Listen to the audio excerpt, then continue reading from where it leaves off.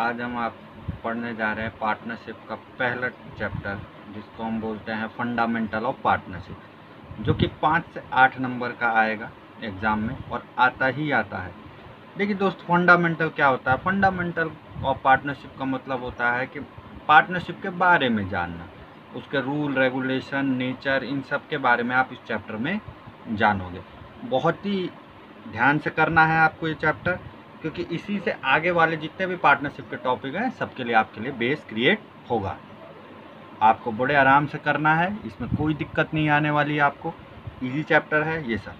ठीक है दोस्तों, आगे बढ़ते हैं। सबसे बड़ी बात ये पार्टनरशिप पार्टनरशिप में ये सारी चीज़ें होती हैं, ये किसके द्वारा होती हैं? तो दोस्त, गवर्नमेंट बनाती है एक्ट ये है पार्टनरशिप एक्ट जिसको हम बोलते हैं पार्टनरशिप एक्ट 1932 उसमें सब कुछ लिखा हुआ है, जो ये पार्टनरशिप के बारे में लिखा हुआ है। इसी में पार्टनरशिप एक्ट के सेक्शन फोर में लिखा है मीनिंग पार्टनरशिप का मतलब।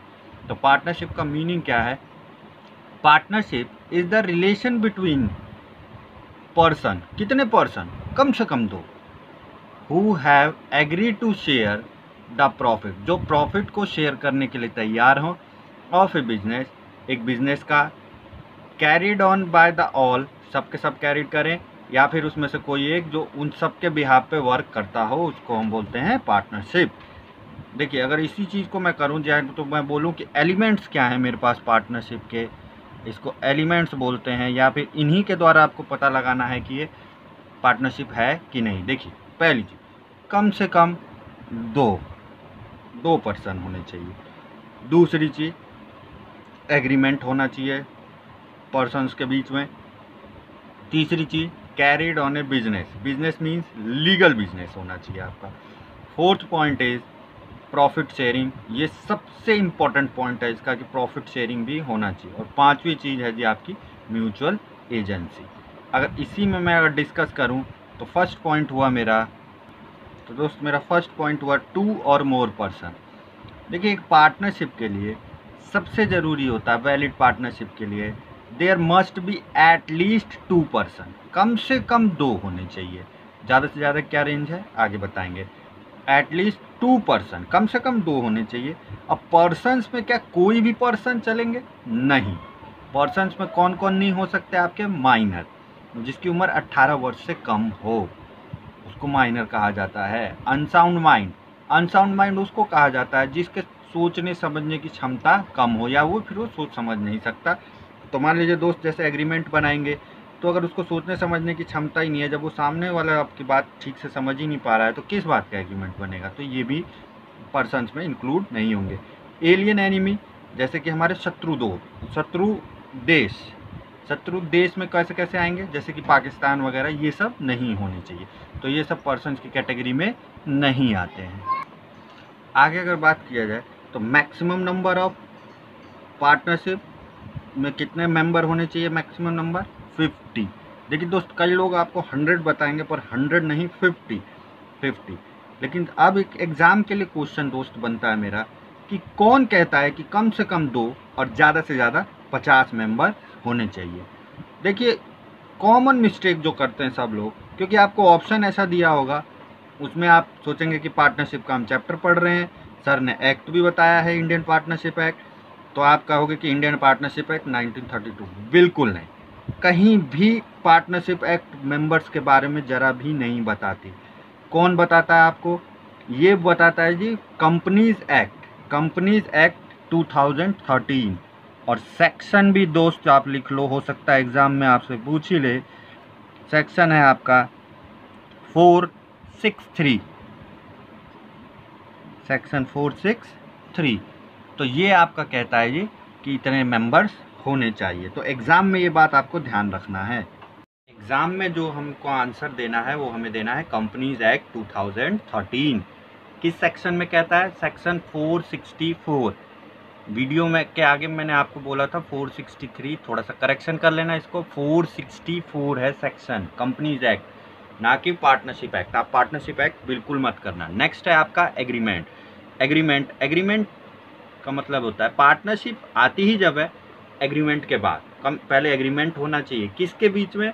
दो separate entities entities mean person to person company to company company और पर्सन जो कि कॉन्ट्रैक्ट में एंटर हो सके, जो कंपेटेंट हो। कौन कौन कंपेटेंट नहीं होता? मैंने आपको आगे बता दिया। माइनर नहीं होता अनसाउंड माइंड नहीं होता एलियन एनिमी नहीं होते, ये सब कंपेटेंट नहीं होते। एग्रीमेंट कैन बी रिटर्न और ओरल बोथ हो सकते हैं, दोनों। ये एग्ज़ाम में ध्यान रखना, कई बार पूछ ले। ऑप्शन में रिटर्न भी होगा ओरल भी होगा और बोथ होगा और नन ऑफ़ दीज भी हो सकता है, ऐसे ऑप्शन हो सकते हैं। तो आपको ध्यान रखना है ओरल और रिटर्न कई लोग सोचते हैं रिटर्न ही होगा। नहीं रिटर्न नहीं ओरल ओरल भी हो सकता है आपका। Carrying on a legal business carrying agreement क्यों बना? किसके लिए हुआ? बिज़नेस को चलाने के लिए। कैसा बिज़नेस लीगल बिज़नेस क्यों चलाना है हमें? प्रॉफिट अर्न करने के मकसद से हमको प्रॉफिट अर्न करना है। याद रखना, हमारा मेन काम है प्रॉफिट अर्न करना। There can be no partnership कोई पार्टनरशिप नहीं हो सकती। टू डू है सोशल और चैरिटेबल वर्क जहाँ पे प्रॉफिट अर्न करने का मोटिव नहीं है, वहाँ पे वो पार्टनरशिप नहीं होगा। वो एनपीओ हो सकता है नॉन प्रॉफिट ऑर्गेनाइजेशन आपने बनाई है। ये सब चीज़ें हैं। नेक्स्ट आइए आप प्रॉफिट शेयरिंग इस सबसे ज़्यादा important most important element essential element partnership का क्या है जी? प्रॉफिट शेयरिंग या फिर आपसे एग्ज़ाम में एक नंबर का क्वेश्चन पूछ सकता है। Essential element of partnership is profit sharing या फिर prima facie evidence of partnership is profit sharing क्योंकि अगर प्रॉफिट नहीं है तो एग्रीमेंट बनाने के बावजूद भी आपका वो बेकार है, कोई काम नहीं। प्रॉफिट की ही वजह से आपका क्या हो जाता है? पार्टनरशिप बनता है। एग्रीमेंट आप कई और चीज़ों का भी कर सकते हो, लेकिन जब तक आपका प्रॉफिट शेयरिंग का एलिमेंट नहीं है तो पार्टनरशिप नहीं है। जैसे देखिए एग्ज़ाम्पल दूँ। एक पर्सन ए है, एक पर्सन बी है, दोनों ने मिलकर एग्रीमेंट किया, लेकिन प्रॉफिट ना होने की वजह से वो पार्टनरशिप ना कहला के नॉन प्रॉफिट ऑर्गेनाइजेशन या फिर जॉइंट वेंचर ये सब चीज़ें कहला सकते हैं। इनको बोलते हैं नॉन प्रॉफिट ऑर्गेनाइजेशन या जॉइंट वेंचर भी हो सकता है। और ए प्लस बी हैं, दो पार्टनर एग्रीमेंट भी हुआ, साथ में प्रॉफिट का भी एलिमेंट है तो आपका वो बन गया पार्टनरशिप तो एग्ज़ाम में आपको ध्यान रखना है कि आपसे पोस्ट क्वेश्चन पूछेगा prima facie evidence of partnership is profit sharing या important essential essential element of partnership is profit sharing next आइए दोस्त म्यूचुअल एजेंसी म्यूचुअल एजेंसी क्या होता है कि जो पार्टनरशिप के पार्टनर होते हैं, वो अपना काम, सबका काम करेंगे, या तो बिज़नेस जो चलाया जाएगा, वो सबके द्वारा चलाया जाएगा, और अगर सारे नहीं चला सकते उसमें से कोई भी चलाया तो वो सबके लिए काम करेगा, सिर्फ़ अपने लिए नहीं, अपने लिए तो करेगा करेगा, साथ के लिए, दूसरे के लिए भी। लेकिन क्या जो दूसरे के लिए काम किया है, क्या वो लाइबल है? कोई भी एक्ट जो उसने काम किया अदर पार्टनर ने तो बिल्कुल लाइबल है। चाहे वो पार्टिसिपेट कर रहा हो या ना कर रहा हो, वो वर्क के लिए लाइबल होगा ही होगा। Each partner whether the participating in management और not will be liable for act done by the other partner in ordinary course of business आपको एग्ज़ाम्पल दे देता हूँ ए बी सी तीन पार्टनर हैं। ए के पास टाइम नहीं है काम करने के लिए तो बी और सी ने काम किया। तो ये बी और सी सिर्फ़ अपने लिए नहीं ए के लिए भी काम कर रहे हैं। सपोज़ करिए लॉस हो गया तो लॉस क्या बी और सी ही भरेंगे? नहीं ए भी भरेगा, क्योंकि ए भी लाइबल है उसके लिए। बेशक से वो काम नहीं कर रहा है, लेकिन बी और सी ने जो वर्क किया, वो ए के लिए भी किया। तो ये तीनों के लिए होता है। तो ये तीनों ही लाइबल होंगे। इसी को हम बोलते हैं एजेंट और प्रिंसिपल रिलेशनशिप। ए ने काम नहीं किया, बी और सी ने किया, अपना तो किया ही किया, साथ में ए का भी किया तो बी और सी ने जो वर्क किया, उनको बोलते हैं जी प्रिंसिपल। बी और सी यहाँ प्रिंसिपल हुए और ए के लिए किया तो ए यहाँ पे एजेंट है। तो इसलिए आप ये बात ध्यान रखिएगा। नेक्स्ट आइए पार्टनरशिप डीड पार्टनरशिप देखिए एग्रीमेंट से बनता है। एग्रीमेंट कैन बी रिटर्न और ओरल दोनों हो सकते हैं, लेकिन जो एग्रीमेंट रिटर्न हो जाए तो वो डॉक्यूमेंट बन जाता है।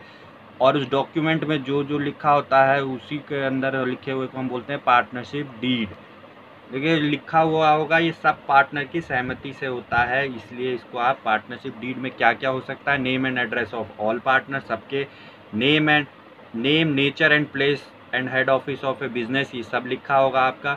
डोरेशन ऑफ़ पार्टनरशिप पार्टनरशिप का डोरेशन कितना होगा?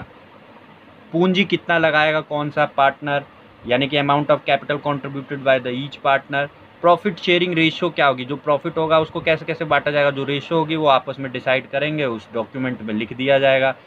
जो आपने पैसा लगाया, उस पर इंटरेस्ट कितना मिलेगा, या आपने किसी से लोन लिया है तो उस पर कितना इंटरेस्ट देना पड़ेगा, ये सब इसमें लिखा होगा। Method of valuation of goodwill goodwill कैसे हम ट्रीट करेंगे, ये भी आपको लिखा होगा इसमें। देखिए, जो लिखा है, वो तो लिखा है, उसमें हमें कोई प्रॉब्लम नहीं है। हमारे इंडिया में एक प्रॉब्लम है, जो लिखा है, वो दिखता है, जो नहीं लिखा, वो दिखा ही नहीं हमें। लेकिन क्या कई बार जो चीज़ें नहीं लिखी हुई होती, उसको बोलते हैं जी हम एबसेंस ऑफ़ पार्टनरशिप डीड देखिए, जो लिखा है, उसमें तो कोई प्रॉब्लम ही नहीं है। वैसे हम दे देंगे, जैसे लिखा हुआ दस percent interest on capital ten percent होगा आपका तो आप इंटरेस्ट दे देंगे उस पर टेन परसेंट मान लीजिए किसी पार्टनर को सैलरी और कमीशन के बारे में लिखा है, उसमें डीड में तो भी आप दे देंगे, उसमें कोई प्रॉब्लम नहीं है। लेकिन जो नहीं लिखा हुआ, तब क्या करेंगे हम? तो देखिए, अगर नहीं लिखा हुआ कुछ in the absence of partnership deed या साइलेंट है पार्टनरशिप डीड तो याद रखिएगा, ये आपको पूरे पार्टनरशिप में कई बार आएगा और आपको बहुत परेशान करेगा लॉन्ग क्वेश्चन में भी। देखिए, जो लिखा है उसमें तो कोई प्रॉब्लम ही नहीं है, हम वैसे कर देंगे, लेकिन नहीं लिखा तब क्या करेंगे?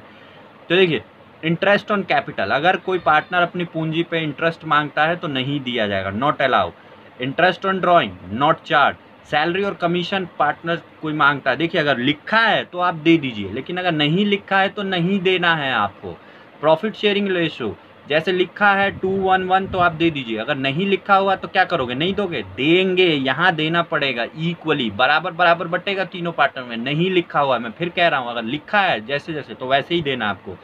और इंटरेस्ट ऑन लोन लोन पे interest six percent per annum देखिए, अगर लिखा होगा पंद्रह परसेंट तो पंद्रह ही देना है, लेकिन अगर नहीं लिखा हुआ साइलेंट है, कुछ नहीं बोला हुआ तो six percent per annum per annum ध्यान रखना।